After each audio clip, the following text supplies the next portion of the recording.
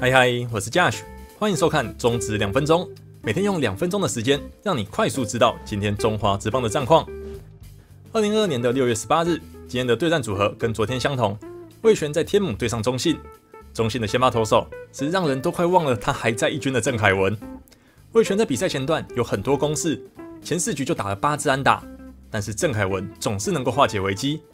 不过郑凯文在第五局又保送了该局的首位打者李凯威。这也让中信决定换上吴泽源来接替他的投球，结果林志胜马上打出安打，另外一手林书义还发生手背失误，然后吉利吉刀的深远飞球先帮助魏权取得一比零的领先。到了七局下，南木一样总算突破最近的低潮，一支二连打带回两分打点，让比数形成三比零。而魏权今天的先发投手刚龙状况绝好掉，中信唯一的机会出现在第八局，无人出局攻占一二垒，但是刚龙先让陈伟汉打成飞球。然后再连飙两次三振，扑灭了中信的反攻希望。最终魏权就以三比零打败了中信，终止了最近的四连败。另一边由富邦在新庄对上统一，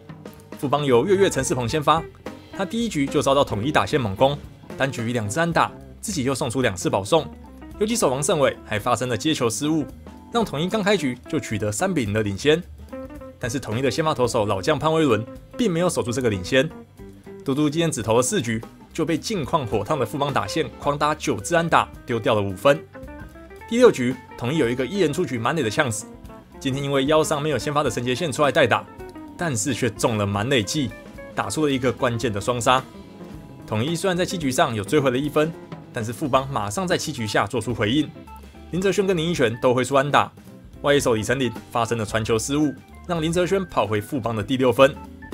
第九局，在曾俊岳飙出三次三振的封锁之下。富邦六比四带走胜利，在这次的三连战中很少的统一。以上就是今天的中止两分钟，我们下次见，拜拜。